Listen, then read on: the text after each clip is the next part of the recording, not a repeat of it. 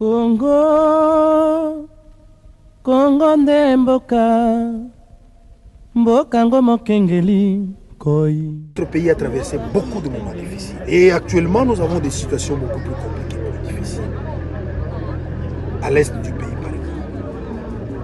Le service national a vocation de préparer aussi les jeunes à défendre leur pays, à inculquer en eux un esprit très poussé de patriotisme et de nation. Le Congolais, à un moment donné, les jeunes ont perdu de boussole, ils n'ont plus de référence.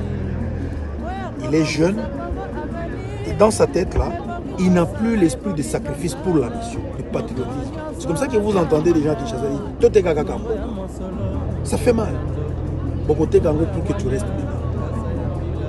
L'homme est celui qui doit accepter de se sacrifier pour son pays, pour sa progéniture. Et le service national, c'est le meilleur endroit où on va réinculquer toutes ces bonnes valeurs dans la tête de nos jeunes. Et si on arrive demain après-demain à ouvrir plusieurs centres sur l'ensemble du territoire, on peut en une année arriver à encadrer un million de jeunes.